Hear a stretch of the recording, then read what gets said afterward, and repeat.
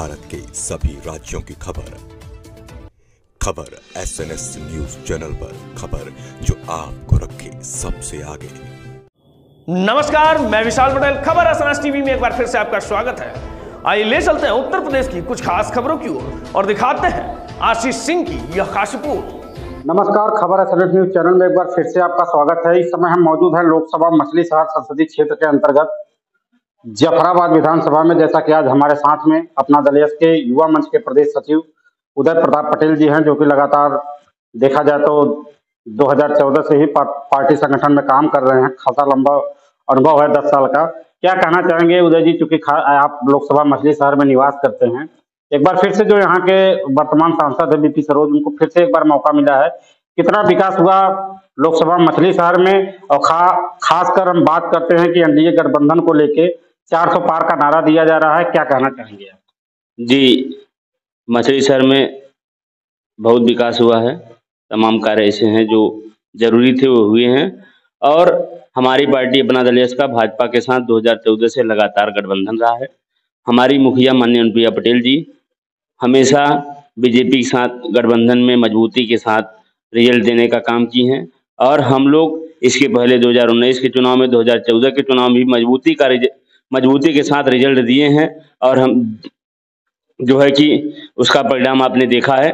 और इस बार भी हम लोग पूरे संगठन के लोग, अपना दल के सभी कार्यकर्ता मजबूती के साथ मिलजुल करके अपना दल भारतीय जनता पार्टी गठबंधन को मज़बूत बनाएँगे और अच्छा रिज़ल्ट देने का काम करेंगे।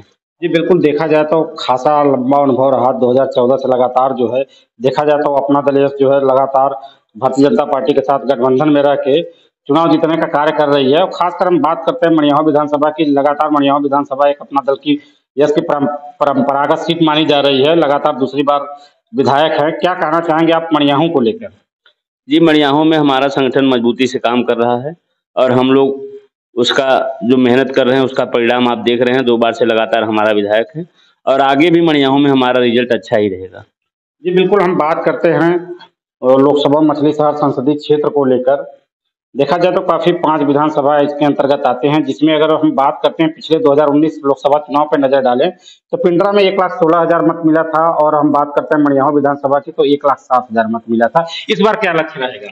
इस बार पिछली बार की अपेक्षा और अच्छा लक्ष्य रहेगा और हम लोग कोशिश करेंगे कि ज़्यादा से ज़्यादा मज़बूत मणियाहों में दिखें और रिज़ल्ट जो भी होगा, वो सब सामने रहेगा अच्छा रहेगा।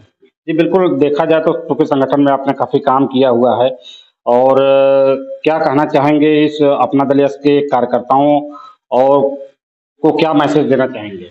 हम सभी कार्यकर्ताओं से यही निवेदन किए हैं अभी तक और करते रहेंगे कि पार्टी का जो निर्देश है शीर्ष नेतृत्व का कि गठबंधन धर्म को पालन करना है और गठबंधन को मजबूती के साथ लेकर के चलना है, जिससे आने वाले समय में हमारा जो भी रिज़ल्ट रहे गठबंधन का, बहुत ही अच्छा रिज़ल्ट मिले। तो बिल्कुल देखिए, हमारे साथ जुड़े हुए थे अपना दल के युवा मंच के प्रदेश सचिव उदय प्रताप पटेल जी। और ऐसे ही हमारे साथ आप बने रहें खबर S N S TV news channel के साथ।